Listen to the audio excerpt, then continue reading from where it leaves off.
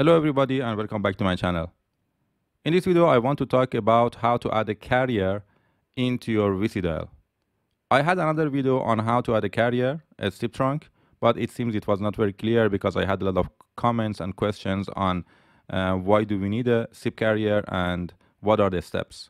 So I uh, decided to record this video that I'm actually explaining a method that you can test yourself and you can create account and have a SIP trunk and call the testing numbers. So first of all, why do we need a SIP trunk or why do we need a carrier in the VICIdial? When you are setting up the VICIdial, uh, you have your own internal phones. Of course, they can call each other if you want, but what's the point? Uh, usually you want to call your customers uh, to talk to them. To achieve that, you need to have a way to uh, communicate to the telco. Uh, in the previous times, you could you you could go and to the telecom and to the telecom and get, for example, E1 or T1 links. But nowadays, uh, you can just order a SIP trunk from any SIP trunk providers. There are uh, plenty in the world, but I choose SignalWire here for this video.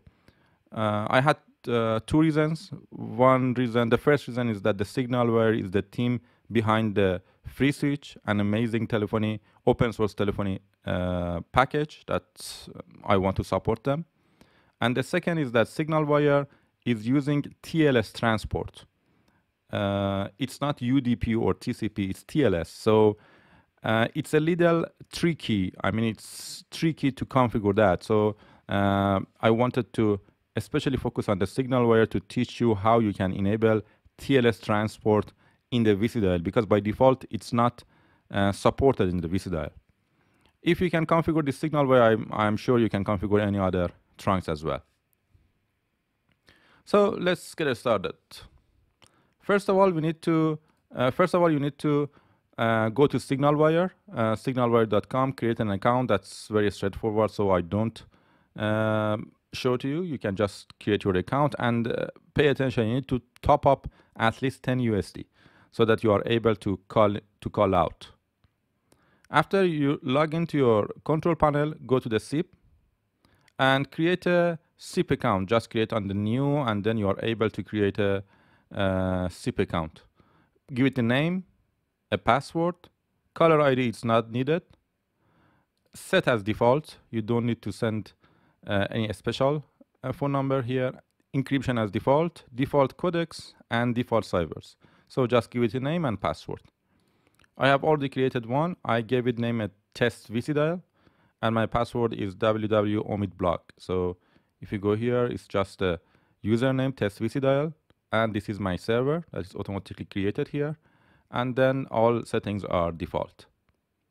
Next step is, is that you need to assign a DID to your trunk. So uh, go to the phone numbers, create new, uh, by any number that you want. You can select based on the region or code area or different. I just selected any random number. So this is my DID.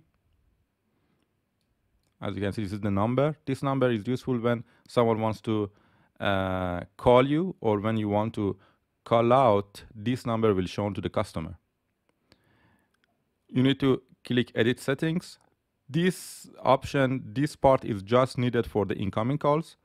So uh, because uh, for the incoming calls, you need to select is it a fax or is it a voicemail. The SignalWire uh, has a lot of uh, features that you can uh, use, for example, API programming to control the voice. So, or, or even you can receive fax with the same number.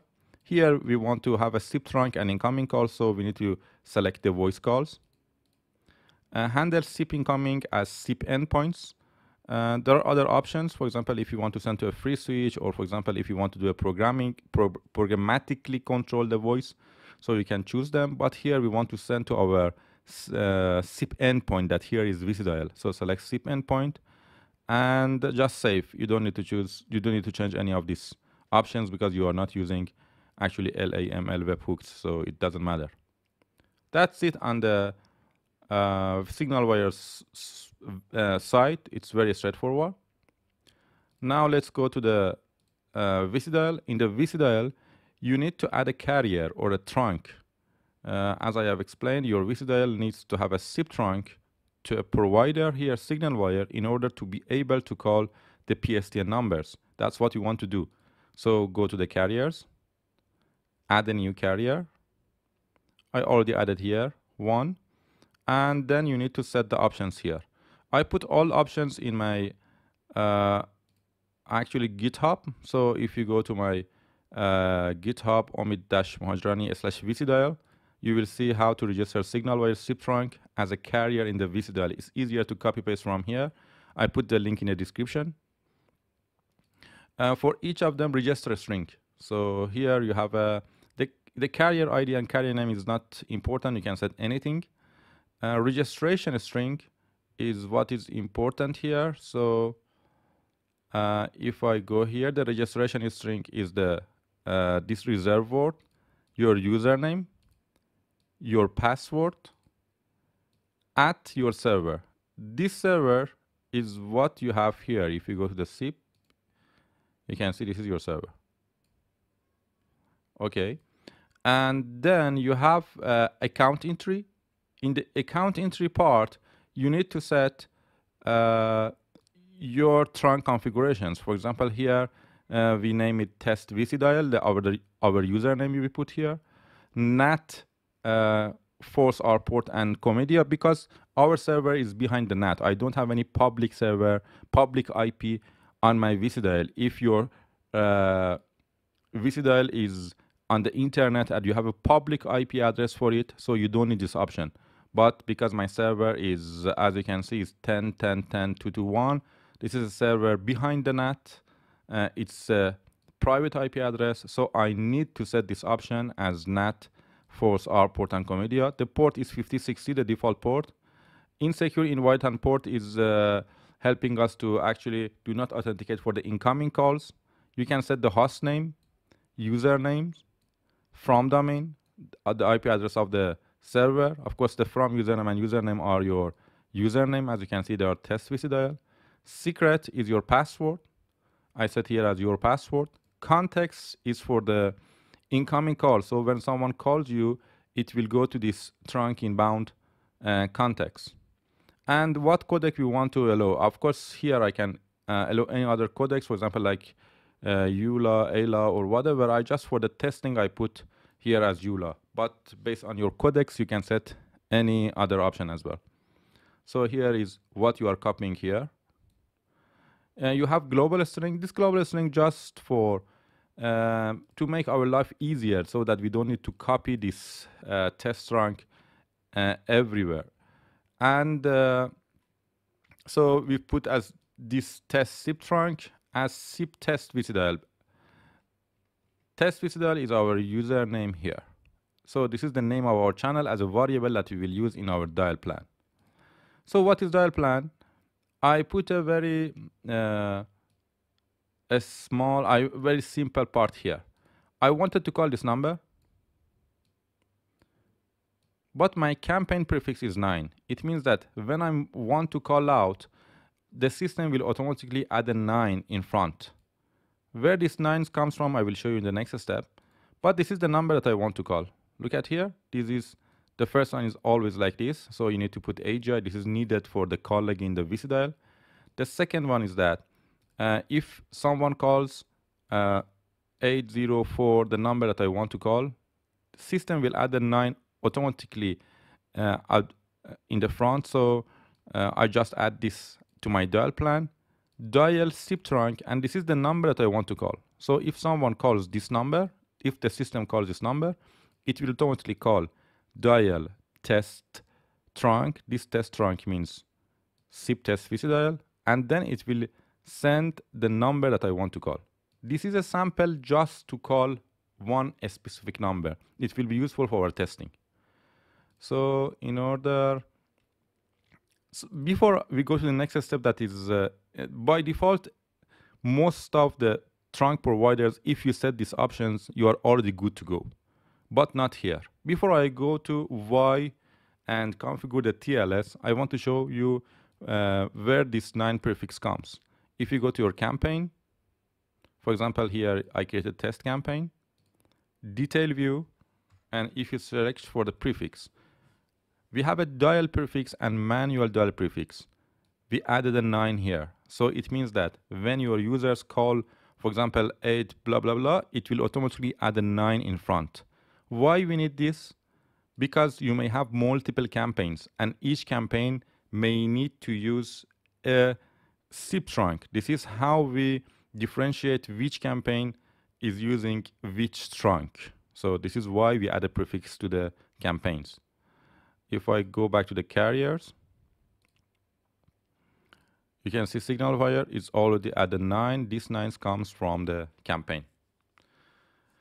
So this is the default configuration for most of trunk providers. But if you try calling out or try calling in, this won't work here. And if you know how to debug using SNGREP, you will understand that the transport is the TLS. It means that it will encrypt the traffic. sorry, in order to um, in order to mm, accept uh, TLS connections, we need to tell our asterisk to actually listen on the TLS, enable the TLS uh, functionality. In order to do that, you need to open sip.conf. You can use any, uh, you can, you need to SSH to your server let me just SSH here.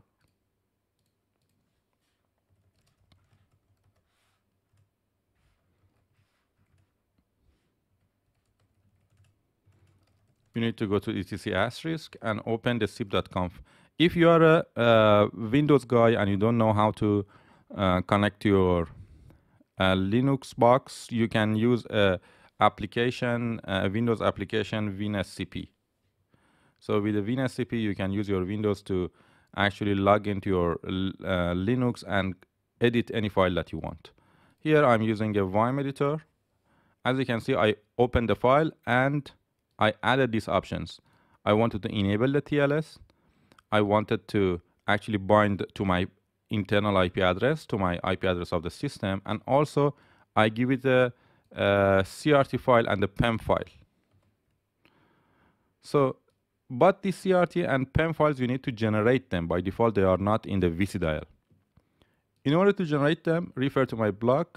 You need to download a script. This is a, a script by the asterisk itself. So it's astlscert.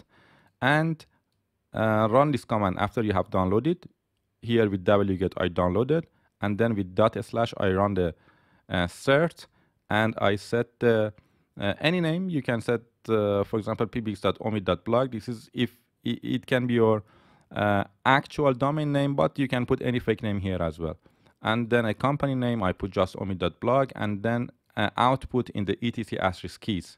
So now, uh, when you are running this uh, script, it will automatically generate in the etc asterisk keys asterisk.pem and also ca.crt. Uh, and after you have enable this option in the sip.conf, you need to go to your asterisk by running asterisk-r-cvv and then type sip reload. Okay, when you type sip reload, it will automatically reload that configuration file and then you have TLS enables. If you type sip show peers, you will see that uh, the test VICIdial, the trunk that we have is okay. So the options that I have set are right. There are another command that is very useful, sip show registry. The sip show registry should show registered. As you can see here, my trunk is all registered and ready to call in and call out. Um, that's it. Then uh, the normal calling out is you just need to log into your agent panel and uh, dial out. The main point was how to actually set up the trunk here and how to assign a prefix in the campaigns. Uh, I just wanted to add this uh, item here as well as previously we just wanted to call an a specific number. Uh, so I add the number and then after my SIP trunk, I pass the exact number that I want to call. If you want to have a, a general rule, for example, here I add a rule 9 dot. 9 dot means 9 means everything that starts with 9 and that means actually uh, of course here I need to add a underscore here as well. Sorry, I forgot that because it's a rule. Uh, everything that starts with 9 and that dot means uh, anything with any length. This is a dangerous rule, but uh, it's easy to understand, so I just put it here. So if, for example, you put 9, uh, 1, 2, 3, 4, what will happen? That means 1, 2, 3, 4. It will dial our trunk, that is our test VICIdial. It will add a plus 1 in front, in front of the number 1, 2, 3, 4. And it will emit one number in front. For example, imagine I dialed 91234. X10 will be the X10 variable here will be 91234 and X10 double dot 1 means remove 9 remove one digit from the front so it will remove this and then it will add plus 1 in front so it will add plus 1 in front so it will call plus 1 1 2 3 4 this is what we want, right? We want to emit the 9, the prefix that we have added in our campaign, and then add a plus 1. Because SignalWire, if you pass 0, 0 or any other format, it won't accept. You need to add plus, then the country code, and then the number that you want to dial. Yes, okay, that's, that was about how we are registering uh, as a carrier in a uh, of course, if you are not using SignalWire and if their transport is TCP or UDP, you don't need to do this extra step. That is actually adding a SSL cert. Uh, you just need to do the steps before uh, this SSL cert, and then you, are, you should be able to call out. Of course, each trunk provider may have their own uh, configuration or their own uh, SIP packets and SIP headers that, uh, of course, for them you need to learn more about how to debug the SIPs. I have a video on uh, SNGREP. Uh, please watch that, that and run the SNGREP if you have some problems on the uh, trunk configuration. Because even if you want to send the trace to me or anyone else, I will ask you to give me the trace of the SIP. And SNGREP command is the command that you can use to uh, trace and see what's going on. So watch that video if you want to register, if you want to learn how to register to any trunk. But this configuration will work for most of the trunks.